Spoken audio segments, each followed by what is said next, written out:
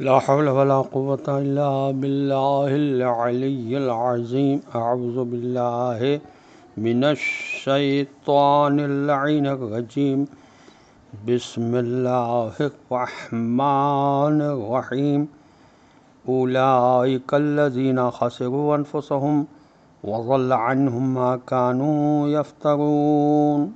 अल्लाहुम्मा सल अला मुहम्मदिन व आल मुहम्मदिन व अज्जिल फ़रजहुम सूरह मुबारक हूद कुरान मजीद का ग्यारहवा सूरा है और इसकी ये इक्कीसवीं आयत करीमा है जिसकी तलावत का मैंने शर्फ हासिल किया जिसका तर्जुमा यह है कि यही वो लोग हैं जिन्होंने अपने आप को खुद सख्त नुकसान पहुँचाया और वो सब कुछ भी उनसे खो गया जो कि उन्होंने गलत तौर पर अज खुद गढ़ रखा था तफसीर साफ़ी में इस आयत की जहर में लिखा है कि आयत का मतलब यह है कि हक़ में नुक्स तलाश करने वालों का अंजाम ये हुआ कि जो कुछ उन्होंने दुनिया में खर्च किया, वो भी उनका नुकसान हुआ।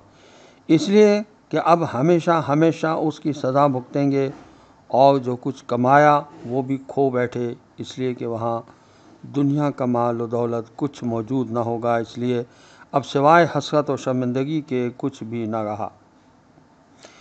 तफसीर मौज़ुलक़ुरान में शायद के जहर में लिखा है कि इल्म की बात को गलत तौर पर बयान करना या ये दावा करना कि दीन के मामले में मुझे कशफ होता है या ये कहना कि मैं अल्लाह का मुकरब हूँ। तफसीर फ़सल ख़िताब में अल्लाह अली नकी साहब ने लिखा कि अब इसी फहरिस्त को ज़रा और बढ़ा लीजिए, कोई ऐसे मनसब का दावा करे जो खुदा आता फरमाता है और जिसका मुकर करना खुदा का हक़ है। ऐसे अहदे का अज खुद दावेदार भी खुदा पर झूठ बोलता है। यही वजह है कि हमें हुक्म दिया गया है कि हम ओलमा की हम नशीनी इख्तियार करें।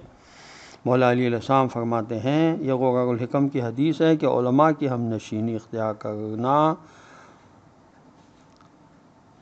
इल्म इजाफ़े का सबब है, अदब में निखार पैदा होता है और तुम्हारा नफ्स पाक हो जाता है। इसी तरह जिहाद ब नफ्स का फ़ायदा मौलाम ने यह फरमाया ये हदीस भी गौरकम की है, जिसका नंबर है सात हज़ार सात सौ इक्यावन। मौला फरमाते हैं, जो शख्स अपने नफ्स के साथ जिहाद करेगा, उसे कमाल तकवा हासिल होगा।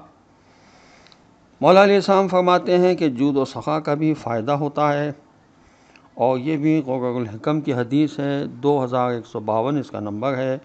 कि जो शख्स सखावत करेगा, दुनिया में उसकी तारीफ़ होगी और आखिरत में वो सादतमंद होगा। इसी तरह ज़िक्र मौत का फ़ायदा भी है। रसूलुल्लाह सल्लल्लाहु अलैहि वसल्लम की हदीस उसूल काफ़ी की जल्दो सफ़ा 122 पर है कि जो शख्स मौत को ज़्यादा याद करता है, वो महबूब खुदा होता है। इसी तरह किसी मोमिन की ज़रूरत को पूरा करने का भी एक फ़ायदा है। और ये ब्याहनवा की जल्द चौहत्तर सफ़ा तीन सौ पंद्रह पर हदीस है रसूलुल्लाह अलैहि वसल्लम की कि जो शख्स अपने किसी बरदर मोमिन की हाजत पूरी करने की कोशिश करेगा, गोया उसने नौ हज़ार साल खुदा की इबादत की। वो भी इसी तरह से कि दिन में रोज़े रखे और रातों को नमाज़ें पढ़ी हों। आज तेरा रजबुलमरजब का दिन है। बेहतरीन खुशनुदी मौला। इस बात में है कि किसी मोमिन की कोई हाजत पूरी कर दी जाए। और सबसे बेहतर यह है कि इल्म के सिलसिले में किसी को रगबत दिलाई जाए, इमाम हसन और इमाम हुसैन अलैहिस्सलाम के पास दो तावीज़ थे, जिनके अंदर हज़रत जबील अलैहिस्सलाम के परों के बाल थे। और रसूलुल्लाह सल्लल्लाहु अलैहि वसल्लम ने फरमाया कि दिन और रात दो सवारियाँ हैं यानी उनके ज़रिए इंसानी उम्र का ख़ात्मा होता है कि हर रोज़ इंसान मौत से एक मंजिल करीब हो जाता है।